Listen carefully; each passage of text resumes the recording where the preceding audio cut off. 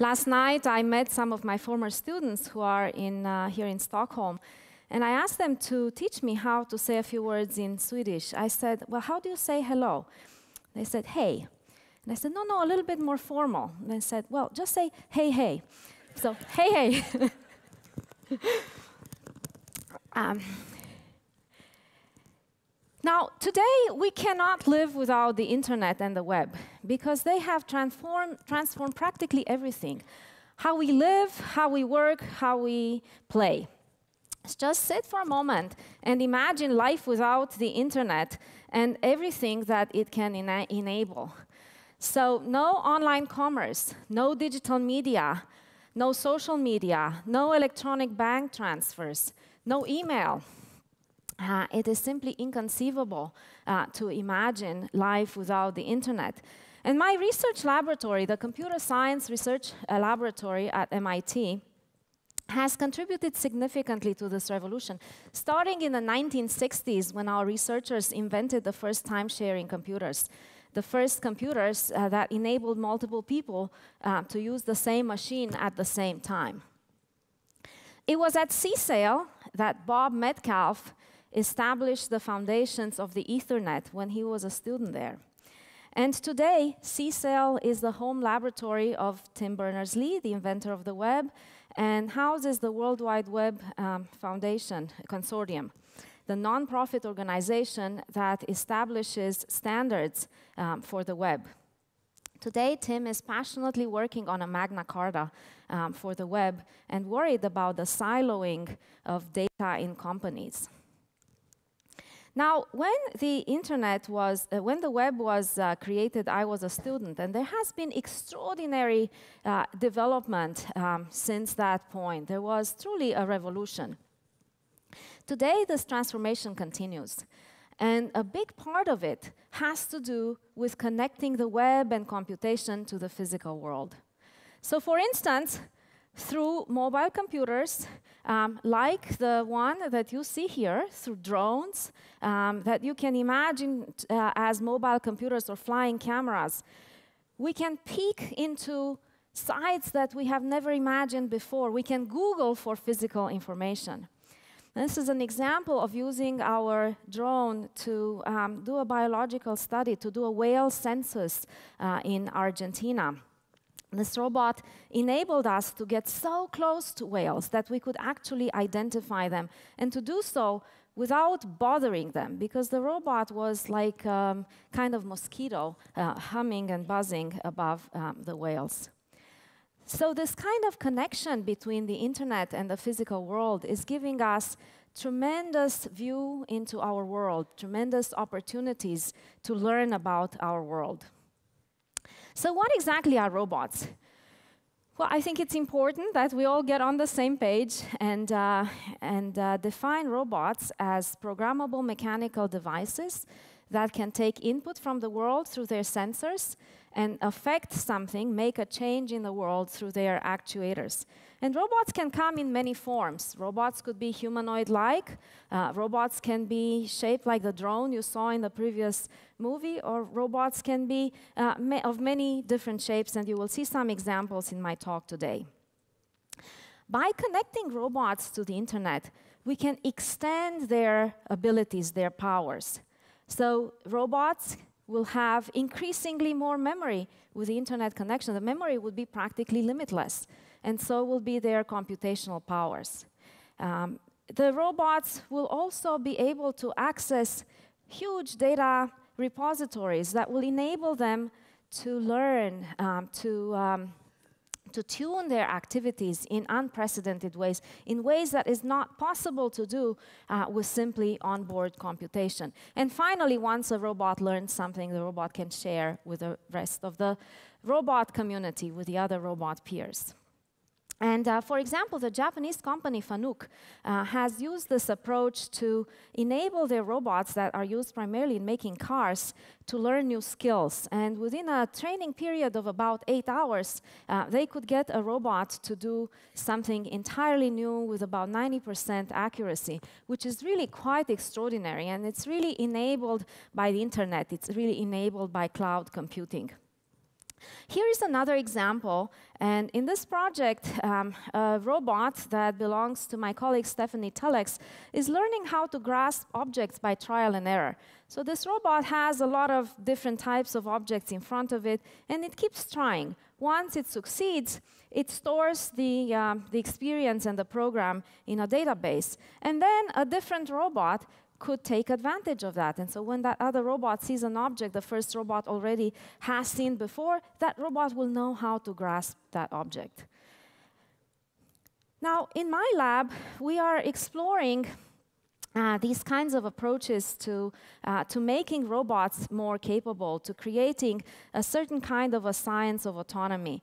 And a very important thing about robots is how they actually interact with the physical world, how they are able to, um, uh, to physically uh, impact um, objects by grasping and moving them around. And uh, here you see a, uh, an example of creating a robot hand that is very much inspired by the human hand, that is very intuitive, it's soft, and it complies to whatever shape um, the object you're trying to grasp um, is. And it really enables robots to do um, the kind of delicate, in hand, dexterous manipulation that humans are capable of doing. So um, these are a few, a few examples of uh, robots that can um, expand their capabilities through memory and processing. Here is an example where we give robots access to the world repository of recipes. And we ask the robot, we ask the question, can we tell a robot, well, please make me uh, let's say brownies, I happen to really like brownies, and have this robot go to the internet, find the recipe for brownies, and really become your iron chef. Uh, really become a machine that can take the recipe, which is um, written in natural language, um, uh, the kind we would understand, that would take that recipe, map it into instructions that it can execute, because now we have uh, enhanced manipulation capabilities for robots and then follow the instructions step by step.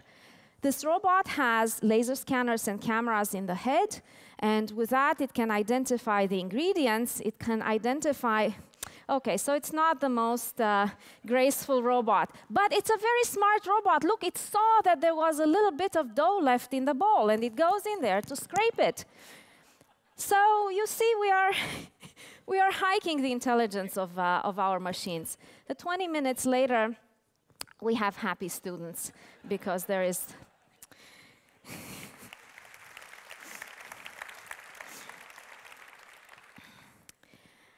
right now you really have to be an expert to create your own Iron Chef robot. But what if anyone could have their own Iron Chef ro robot at home? What if anyone could have a robot at home to do anything they want to get help with physical um, uh, work? Well, um, I believe that the internet can really bring robots to people. And let me spend a little bit of time explaining how. So let's say we have a user, let's call her Alice. We'd like to give Alice the power to automate many physical tasks around her home. So say Alice wants to have a playmate for her cat while she is at work. Well, to do so, Alice can head to a special internet sites that uh, may have uh, tech support. Let's call this 24-hour robot manufacturing, where equipped with an intuitive interface, Alice can identify a kind of uh, shape for the robot, and once she's happy with it, the store prints the robot, creates a programming language necessary to control the robot, and now the cat has a playmate. So how crazy is this idea? Is it really feasible? Can you imagine typing in your browser, I want a robot to play chess with me, and in response to that, trigger some kind of computation? The first step would be parsing the behavior. So thinking, what would a robot that plays uh, chess um, need to do? Well, it would need to pick up pieces, move them around without bumping into other pieces. Oops. um, okay, so you saw the, the result. The other is, uh, so, so you determine the behaviors. Then for each behavior, you create a mechanism um, capable of that behavior. And then you generate the mechanisms, you assemble the components, and voila, you have the robot that is able to play chess. Um, now, this robot was not created entirely uh, automatically, but a lot of the steps in this um, in creating this robot can be automated today. So what, what you need to do to make um, this kind of dream come true um, is, uh, is two things. You need to improve how we make robots, and then we need to improve how we design robots. So let's talk about making robots first. This is an example of a 3D printed robot that practically walks itself out of the printer. You have seen a short segment of the printing process. The secret sauce is that we can print liquid in purple and solids in the same job. And in doing that, we can embed in the robot uh, hydraulic mechanisms that enable the robot to actuate and to move.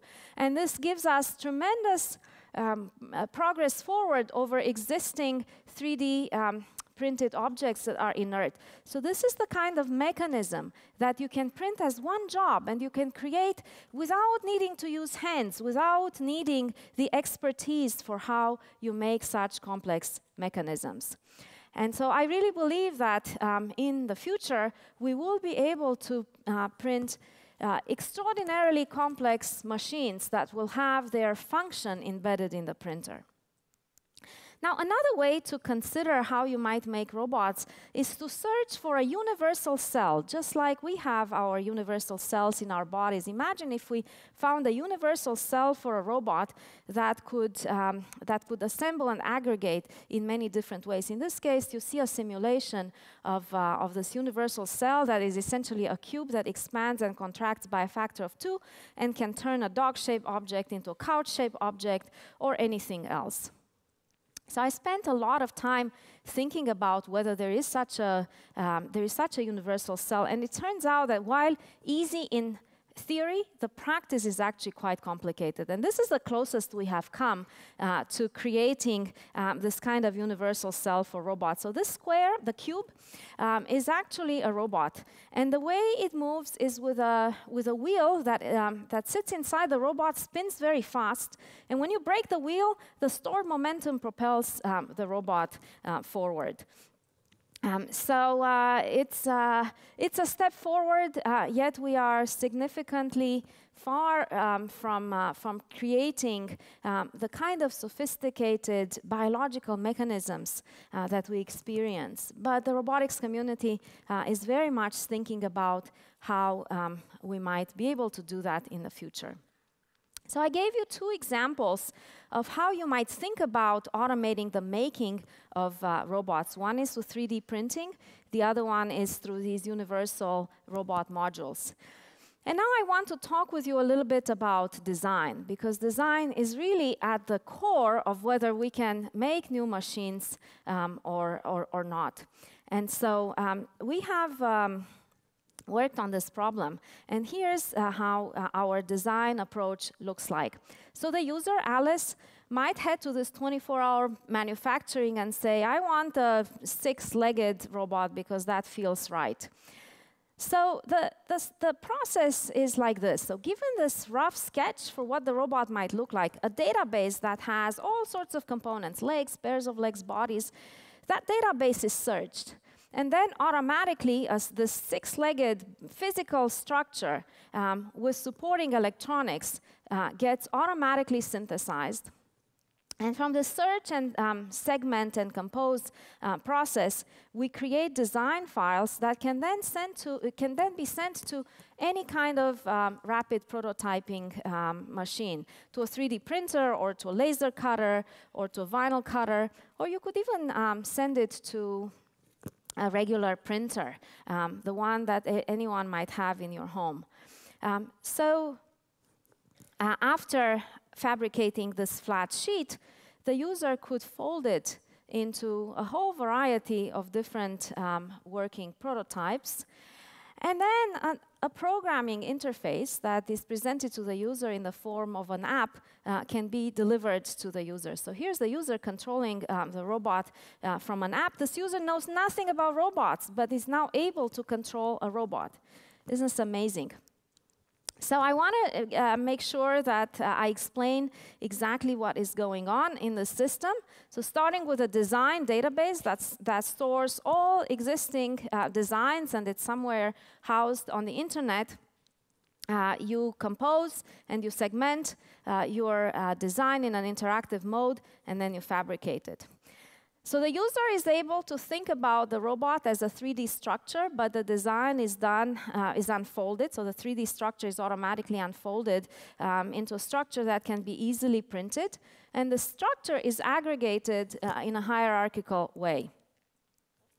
Now, once the design is um, uh, settled, the user has the uh, ability to modify it, to um, scale it up, scale it down, and um, to um, add legs and other um, devices to it. And you can see how the actual robot design gets created um, in the background.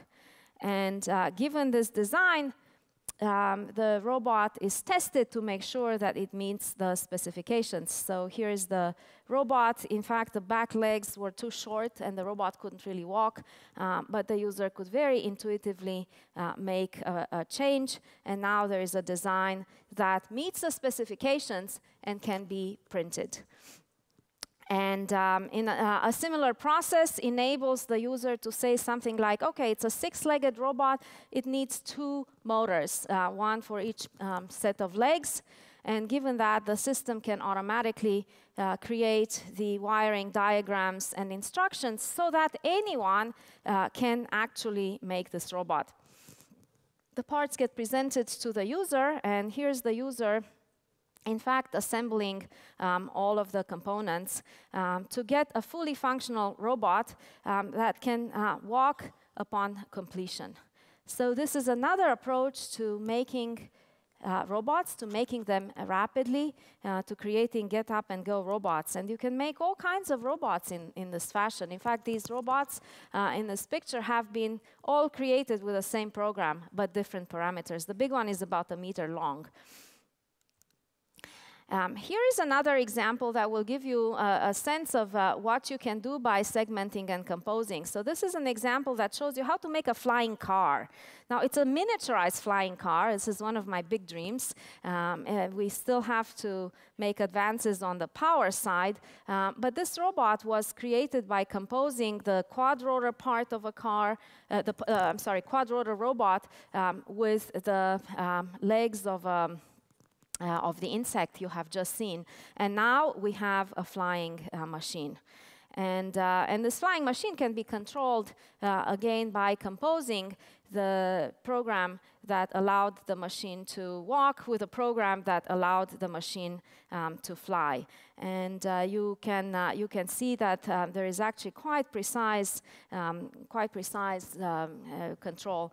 And here's the robot that encounters an obstacle and it flies over it. So I don't know if traffic gets bad in uh, Stockholm, but in Boston there are some uh, pretty difficult times. And every time I'm stuck in traffic, I really want this robot so I could um, fly right over the traffic jams.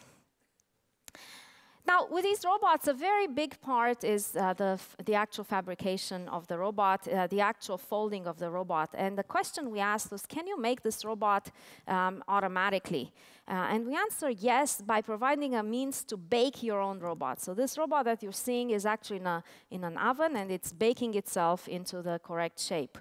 And the secret sauce is in the slide where um, here's how it works. If you make the body of the robot as a sandwich structure with structural layers at the top and at the bottom, and inside you put a layer um, that responds to an external stimulus such as heat.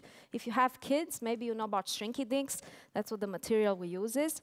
Um, then by, you can, by, by cutting the, um, the gaps in the top and bottom material, we can control exactly how the robot will fold itself from a flat structure into a 3D structure. We can control those angles. And this, is, um, this shows you um, cre the creation of our mini bot, origami mini bot, on a heat plate. Um, this robot also gets up and goes, and uh, in fact, not only does it go, it runs. It can move at four body lengths a second. Um, the robot can move on all kinds of uh, terrain. Uh, it can also um, swim and it can carry things and it can find its way um, through rubble. So this very this robot that is fairly simple to make um, actually has a fairly interesting uh, behavior. Now the robot is controlled because it sits on an on an electromagnetic field um, that is composed from four coils. And by manipulating um, the field, you can get the robot to move in whatever way you want. And when the robot is done with its task, you can send it um, to a recycling bin. Um, so the robot is, um, is actually um, uh, easy on the environment. Now, this idea of rapidly fabricating robots has impact on several industries, and I wanted to show you two examples. One is in medicine. And uh, I would like to give you the, the application, a specific application we call the origami mini surgeon. So take the robot you have just seen. We are going to turn that robot into a swallowable surgical instrument. And one application for such a device um, is in removing foreign objects from your body. Every year in the US, over 3,500 kids swallow button batteries. And these are very um, bad for your body because within a half an hour, the battery can puncture a hole in the tissue. And my students actually um, showed this by buying a piece of ham and putting the battery on a piece of ham. Within a half an hour, the battery was fully um, submerged. So here's how we can imagine doing incision-free surgery with origami robots in the future. We take the origami robot, um, we, um, we compress it, and we surround it in ice. And we create an ice capsule that is about the same size as the size of any pill uh, the doctor would prescribe to you. Um, then the patient um, swallows this um, ice um, capsule. When the ice capsule gets inside the stomach, the ice melts and the robot expands and um, it deploys.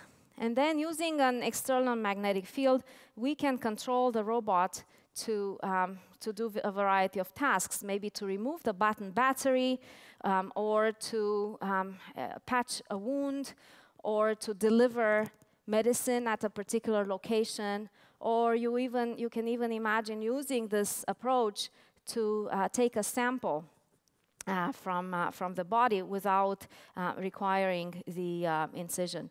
So here we have uh, the robot again. After removing the battery, you see the hole, and now the robot is directed to very precisely to the location of the wound that it can patch. So these are some of the things we can do, um, even with these tiny origami robots that we can create um, in, uh, in such a rapid way. But these robots can do much more for us. It, they can really take us um, to the next level in, in manufacturing. Um, because I really believe that today manufacturing has a big problem to solve. How do we go from mass production to customized production?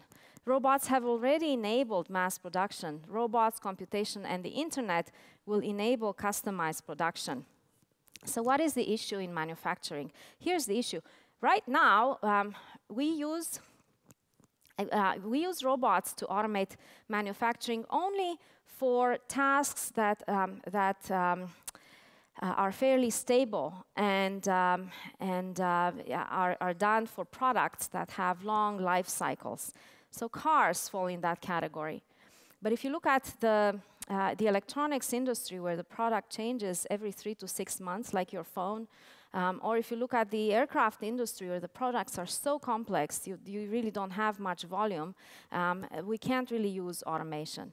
So the, the, the, level of automation really depends on the setup time for the manufacturing um, plant and on the life cycle. Uh, the airline industry um, spends about a year configuring an assembly line and um, they don't want to change it uh, for five to six years um, in order to get their investment back.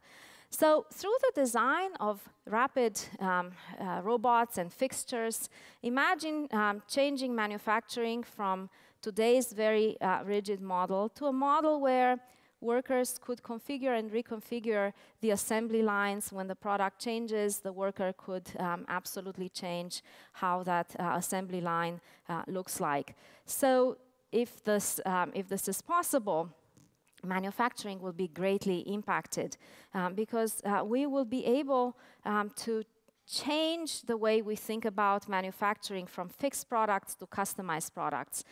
And instead of making products at the far, uh, at the far side and then distributing them um, through shops, I believe that factories will get smaller and much, much closer to people. And the products will be easily customized. Uh, people will still be involved in running the factory, uh, but uh, the products will change from design in Sweden, manufactured in China, to design in Sweden, um, customized in your own living room by yourself, and fabricated nearby. So how far in the future is this idea of 24-hour robot manufacturing? Well, consider that 20 years or so ago, uh, computation was just beginning to, uh, to, to become um, available to people, and the internet was just, the, the web, I'm sorry, was just being born. So today I would say that everyone has a computer, everyone is connected um, to the internet. In other words, computation has become democratized. And I believe that just like the App Store has democratized access to computation, the potential for democratizing and customizing physical tasks um, can be equally profound. I like this quote from Mark Weiser, who was a chief scientist at Xerox PARC, and he was also credited with inventing ubiquitous or pervasive computing. Today, the internet is a utility, computation is a utility, and robots could transform physical tasks in the utility and become a profound part of our everyday life, and this will happen soon. Tak, tak.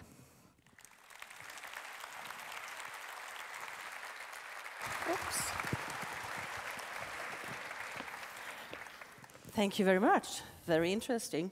Um, I think we will have time for just one short question, and that would be, is there a cost? if I'm buying my 24-hour robot, will it just last for 24 hours? And will there be a cost? So the idea is to make it affordable, right? I mean, and consider that the first uh, color 3D printers cost a half a million dollars in the 80s, and now they're practically throwaway um, gadgets. So I really believe that we will be able to do this with um, reasonable cost, and it will not be expensive. Right now, uh, the technologies are one of a kind, so they are uh, they're not quite ready to be deployed as products. But as the industry picks up, I'm sure that um, this will happen. In fact, the, um, the, uh, there are a number of sites on the internet where you can begin to make designs. Uh, the, there are, um, the uh, level of automation is not quite what I have talked about, but I really see the roots of a movement in this direction. Yeah. Well, it's impressive. Before we you have, leave us. Yes, we have a gift that is uh, very appropriate today. This is not one of your advanced robots, but we are also using robots to teach children how to use computers and how to program. So it's a robot. It's a robot. Ah. but it's, uh, it's more of the cute kind uh, that will not cut you inside. I love it. In fact, this is, my, uh, this is one of my favorite topics today to, um, to tell children that in fact, if they know, if they learn how to program and they learn how to make things, they end up with superpowers. Exactly. Because they yeah. end up imagining anything and turning what they have imagined into reality. And that I call a superpower. So please encourage your children to sign up for programming and to learn how to make. Yes. Here, Thank here. you very Thank much. You very Thank much. you very much, Daniela Rus. Thank you. Thank you.